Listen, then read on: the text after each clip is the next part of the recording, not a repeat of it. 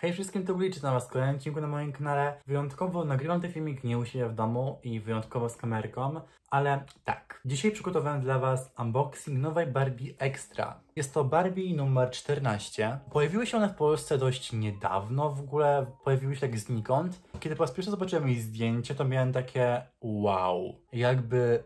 Ja nie lubię Barbie, szczególnie tych nowych Barbie ale ona i jeszcze kilka nowych Barbie, które dopiero się pojawiają w Polsce, jestem w szoku. Barbie jest jakościowo teraz taka aktualnie średnia i bardzo obniżyła swoje standardy na przestrzeni kilku lat gdzie to bardzo widać. No i jest bardzo docofana, niestety. Ale ta lalka daje mi drobną nadzieję, że może być lepiej i być może Barbie wróci na właściwy tor. Być może. Pierwszą rzeczą, którą zauważyłem w tej lalce jest to, że jej pudełko jest o wiele tańsze, jest gorzej wykonane. Jakby to się rusza, to wszystko się w pudełku jakoś rusza, gdzie Pozostałe lalki Barbie Extra, które otwierałem prywatnie, otwierałem je poza kanałem. Ich opakowania były o wiele lepsze jakościowo, więc mam nadzieję, że daje mi budżetu w opakowania tylko po to, żeby dać więcej na lalkę.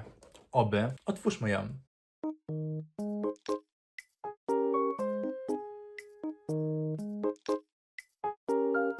Udało się. Ok, robimy wspólnie pierwsze macanie. Ok, nie wiem co mam myśleć o jej włosach. Są przyjemne, ale nie jest to jakoś premium, jakby... Okej, okay, udało mi się ją otworzyć. Nie wiem co myśleć. Więc lalka jest ubrana w takie futerko. Futerko jest ogólnie dziwne, ponieważ na rysunku to futerko wygląda rzeczywiście jak futerko. Jakby tutaj jest takie prawdziwe futerko z elementami jakiegoś błysku, gdzie rzeczywiście mógłbym zrozumieć użycie takiego materiału. Ale to futerko jest w dotyku jak łańcuch do choinki. Dosłownie, to jest taki sam materiał. Jest to dziwne dotyku. Dziwne, ale wygląda nawet ok, a też ucieszyłbym się bardziej, gdyby to futerko było podobne do tego na rysunku. Lalka ma bardzo ładny makijaż, jest naprawdę bardzo wyjątkowo ładny i jest dość mocno umalowana jak na Barbie, ponieważ aktualnie Barbie są dość tak bardzo delikatnie umalowane, często w ogóle nie mają makijażu, co mnie irytuje. Ma cztery długie warkoczyki i jest rzecz, której się mogę doczepić, to jest to, że mój warkoč się rozwalił.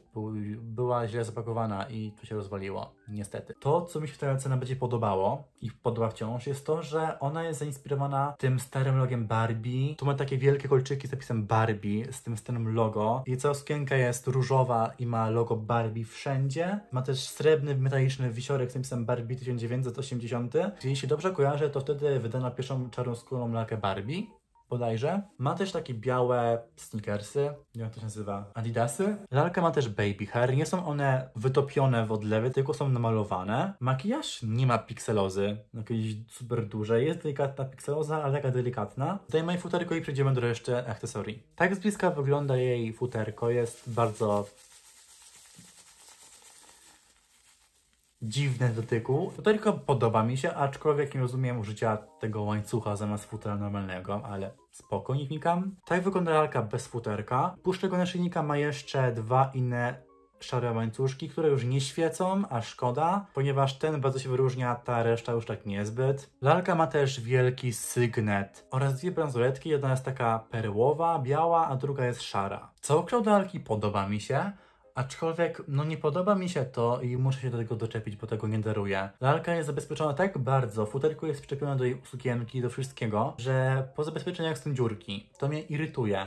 Jakby ta lalka póki co nie kosztowała zbyt mało. I jak dla mnie Mattel powinien przemyśleć to, w jaki sposób te lalki pakują, że potem w ubrankach nie było dziurek. Szczególnie, że dziurki widać, bo one są tutaj na przodzie. Gdyby były z boku, to mógłbym to zrozumieć. Ale na przodzie to nie, to mi się nie podoba. Ubrałem lalkę z powrotem na futerko i przejdźmy do jej akcesorii. I jeśli słychać jakieś dźwięki, wtedy przepraszam, ale uchyliłem okno, ponieważ tu jest strasznie duszno i się pocę, więc nie chcę się udusić w tym filmie, przepraszam. Więc lalka przychodzi z takim zwierzaczkiem i...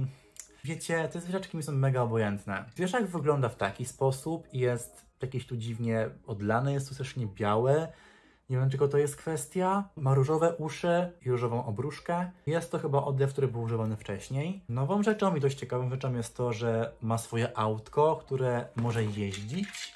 To jest na pewno fajne, więc powinien być tutaj tak wsadzony i on ma po prostu tak jeździć po, po ziemi. No jest to fajne, ale ten zwierzak jest bardzo potrzebny? Nie wydaje mi się. Wolałbym mieć dodatkowe ubrania, albo torby, albo buty do lalki niż takie coś. Dodatkowymi akcesoriami do lalki są okulary. Są to różowe serca z czarnymi szkiełkami. Szkiełka są domalowane, nie są przezroczyste niestety. I moje są dość krzywe.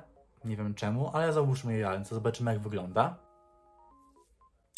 No wygląda to cute, wygląda to bardzo kampowo bym powiedział. Myślę, że lepiej to wygląda na jej głowie. Mamy też torebkę, którą muszę otworzyć, ponieważ wydaje mi się, że jest ona funkcjonalna. Ta torebka ma imitować pudełko talki Barbie, co mi się podoba. Mamy stare loko Barbie, jest ona z tyłu różowa, z przodu mamy takie przejrzyste szkiełko, które jest brokatowe. I torebkę chyba można otworzyć, tak, można. Okej, okay, fajnie. Otwiera się ją jak taki mały portfelik. W taki sposób. Kurczę, podoba mi się to. Fajny pomysł. Ale moje jest trochę uszkodzone, nie wiem czemu. Tak jak zdarzają mi się lalki z super uszkodzonym makijażem, to często ich akcesoria mają jakieś defekty. Dziwne to. No i dodatkowym akcesorium do lalki jest to serduszko, które możemy oderwać i może być to nasza naklejka. I jest to logo Barbie z takim brokatem w środku. Plusem Barbie Extra jest zapewne to, że te lalki mają więcej artykulacji, nie są sztywnymi klockami. Mają taką samą artykulację jak lalki Monster High, czyli mogą ruszać głowami na bok, do tyłu i do przodu. Mają ruchome ramię, przedramię oraz nadgastek. Nogi też się ruszają, ale jej spódniczka jest na tyle obcisła, że trudno to zrobić. No i lalka ma ruchome kolana. Szczerze, ta lalka nie jest zła. Podoba mi się. Jest na pewno progres dla Barbie, ponieważ jest na pewno lepszy design, bardziej przemyślane, chociaż nie rozumiem zbytnio tej kurtki. Nie podoba mi się to, że po prostu nie przemyśleli zapakowane lalki i przez to lalka ma takie dziurki na, na przodzie spódniczki. To wygląda mega źle. Buty mi się podobają, są urocze, są zwykłe, białe, podejrzewam, że były używane już wiele razy na innych lalkach Barbie. Kolczyki są chyba nowe, naszyjnik też jest chyba nowy, syklin też jest chyba nowy.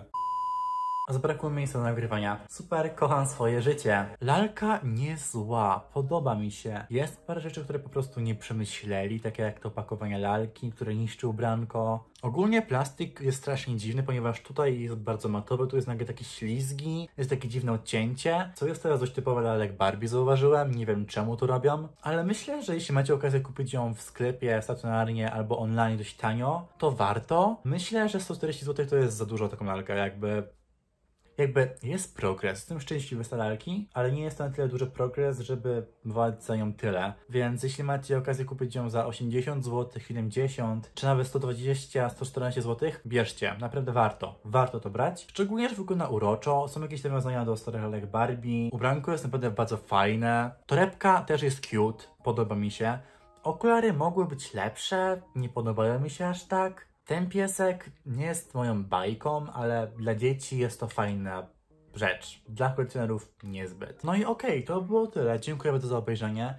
Tak prezentuje się lalka, nie jest zła, jest to na pewno progres, jeśli chodzi o Barbie. Myślę, że na pewno warto ją kupić, jeśli nawet nie lubicie zbytnio Barbie tych nowych, to uwierzcie, że ona jest tego warta. Ma podstawową artykulację, ubranko jest ok jakości, futerko mogło być lepsze, bo to jest łańcuch na choinkę niestety, więc myślę, że naprawdę warto. W sensie, mówi to osoba, która aż tak lubi nowych Barbie i wam poleca.